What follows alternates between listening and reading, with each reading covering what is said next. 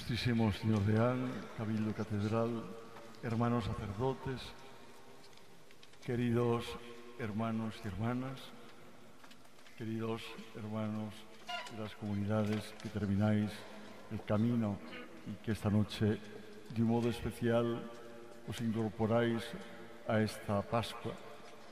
Queridos hermanos que vais a ser bautizados, hermanos y hermanas, que vais a recibir la vida de Cristo. Hermanos todos, feliz Pascua. Cristo ha resucitado, verdaderamente ha resucitado. Está entre nosotros, aquí ahora, en la Catedral de la Almudena. La resurrección es la alegría que llena de asombro a todos los hombres. Es una alegría que viene de dentro, no es un maquillaje. El corazón está inmerso en la fuente de ese gozo que es el mismo Jesucristo. Inmerso en el corazón de aquellas dos mujeres que van al sepulcro y ven la piedra corrida y un ángel que está encima de ella. Y descubren también cómo Jesús se acerca a ellas y les dice, alegraos, id a Galilea, anunciad que he resucitado. Hermanos, este es el triunfo del hombre. El triunfo de Cristo es el triunfo del hombre. Y todos los hombres tienen que conocer este triunfo. Y a nosotros, miembros vivos de la Iglesia, el Señor nos hace experimentar el gozo de este triunfo en esta noche santa.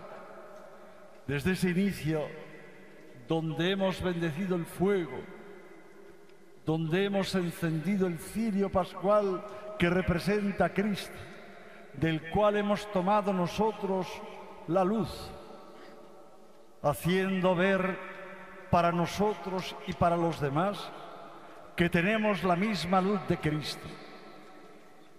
Hemos escuchado la palabra del Señor, donde se nos habla de la creación, donde se nos ha hablado de la fe de Abraham, donde se nos ha hablado de la liberación de la esclavitud del pueblo de Israel, donde se nos ha hablado de que el Señor hará un pueblo grande, escogerá de todas las naciones. Nosotros, hermanos, lo hemos escuchado del apóstol Pablo hace un instante. Somos ese pueblo somos esa nación consagrada. Somos la iglesia de Cristo. Somos quienes experimentamos que nos tenemos que convertir en testigos del Señor, como nos decía el Evangelio hace un momento que hemos proclamado. Se lo decía a aquellas dos mujeres, a María Magdalena y a la otra María. Les decía, alegraos, no estéis tristes, habéis triunfado. Esto es lo que nos dice el Señor. El triunfo hoy de la humanidad es el triunfo de Cristo. Es el triunfo que nosotros celebramos. No es una noche cualquiera. Es la noche santa por excelencia. Es la noche donde se revela la acción de Dios en medio de nosotros. Es la noche donde experimentamos cada uno de nosotros que los capítulos de los evangelios que nos hablan de la resurrección resuenan a través de la iglesia en todas las partes de la tierra, por todo el mundo. Y el Señor hoy nos dice también a nosotros, no temáis, no temáis. Estoy con vosotros, os he regalado mi vida, tenéis mi vida y mi triunfo. Enseñad a los hombres que buscan enseñadle y darles mi vida. He resucitado. Esta es la culminación, queridos hermanos, de esa buena noticia por excelencia.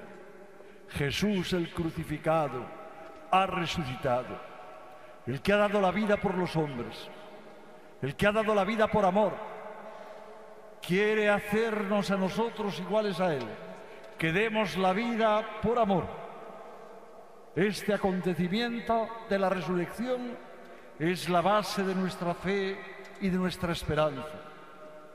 Hermanos, como podéis comprender, si Cristo no hubiera resucitado, el cristianismo, nosotros, perderíamos todo el valor. No significamos nada. Una asociación que hacemos memoria de alguien que vivió y fue un gran hombre. No, queridos hermanos, toda la misión de la Iglesia se quedaría sin la fuerza que tiene, pues desde la resurrección ha comenzado y reemprende siempre de nuevo el anuncio de Cristo resucitado. El mensaje que los cristianos llevamos al mundo, a este mundo, es el de Jesús, es el amor encarnado, es la noticia de quien murió en la cruz por nuestros pecados, pero Dios Padre lo ha resucitado y lo ha constituido Señor de la vida y de la muerte. En Jesús, el amor ha vencido el odio, la misericordia, ha roto y destruido el pecado. El bien, que es el mismo Cristo, ha vencido al mal. La verdad, que es Cristo, vence a la mentira. La vida, que es el Señor, vence a la muerte. No temáis, queridos hermanos, decían los primeros cristianos. No temáis, tenéis la vida, nadie la puede quitar. Os la ha dado Dios mismo, Cristo somos resucitados. Por eso, en esta noche santa, yo os invito, hermanos, a que digamos lo mismo que decían los apóstoles, lo mismo que dijo el Señor cuando los llamó y lo que siguen diciendo los apóstoles y tenemos que seguir diciendo nosotros. Venid y veréis en toda situación humana, marcado por la fragilidad, por el pecado, por la muerte, la buena noticia que es Cristo resucitado no es una palabra, es un testimonio del amor gratuito y fiel, es un salir de uno mismo para ir al encuentro del otro, es estar al lado de todos los heridos de la vida, es compartir con quien carece de lo necesario, es permanecer junto al enfermo, junto al anciano, junto al excluido. Venid y veréis. Demos este testimonio, queridos hermanos. Esto manifiesta que creemos en la resurrección, que la tenemos en nuestra vida, que la hemos experimentado, que el amor es más fuerte, que el amor da vida, que el amor hace florecer la esperanza incluso en el desierto. Venid y veréis. Este es nuestro compromiso. Esto es lo que en esta noche santa, como arzobispo de Madrid, como pastor vuestro, quiero entregar a toda nuestra diócesis.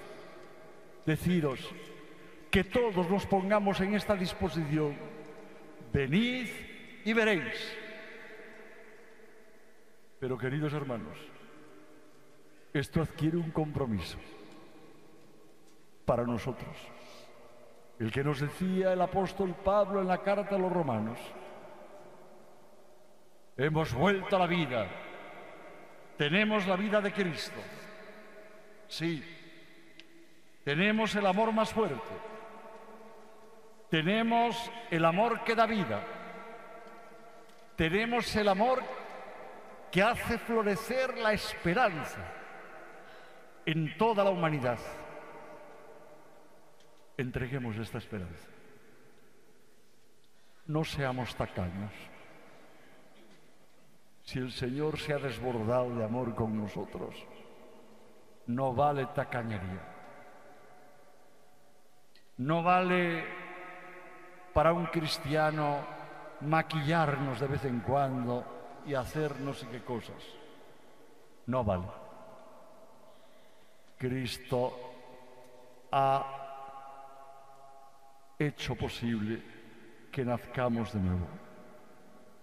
Por eso, con esta gozosa esperanza, Nos dirigimos hoy al Señor resucitado y le decimos, Señor, ayúdanos, que podamos amarte y adorarte. Ayúdanos a derrotar todo lo que trae la muerte a esta humanidad con tu resurrección.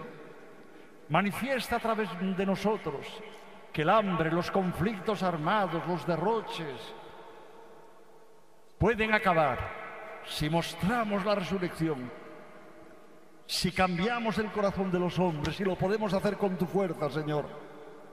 Venid y veréis. Te pedimos que nos confortes, que nos confortes y confortemos a todos los que nos encontremos por el camino.